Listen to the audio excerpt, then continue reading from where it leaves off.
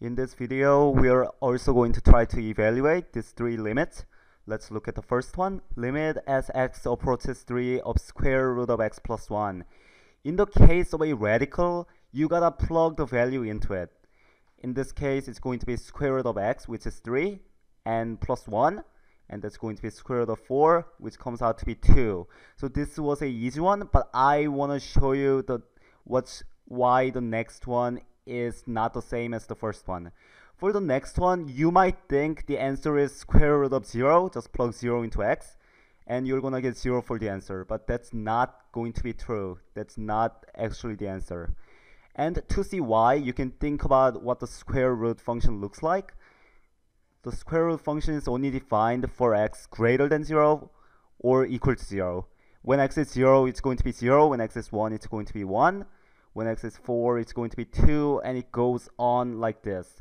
Square root function is not defined for something negative. If you put something negative into it, you do not know where the function is going to go. It's actually going to be imaginary.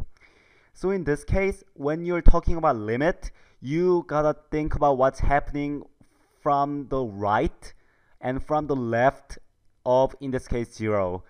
In this case, from the right, it does seem like the value the f of 0 is going to be 0 is from the right from right.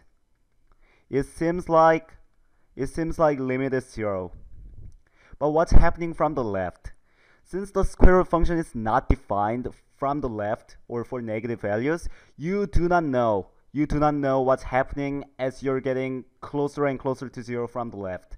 And in those cases if the limit from the right is defined but the left is not, we say the limit does not exist. So for the second one, the answer is actually not 0.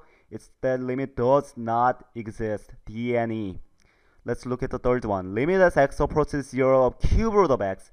Now cube root of x is defined for all x, while even no matter it's negative or positive, it goes like this. So in this case, as you're approaching from the positive side, it's the limit is 0. As you're approaching from the negative side, the limit is also 0. So in this case, we can safely say the limit is actually equal to 0.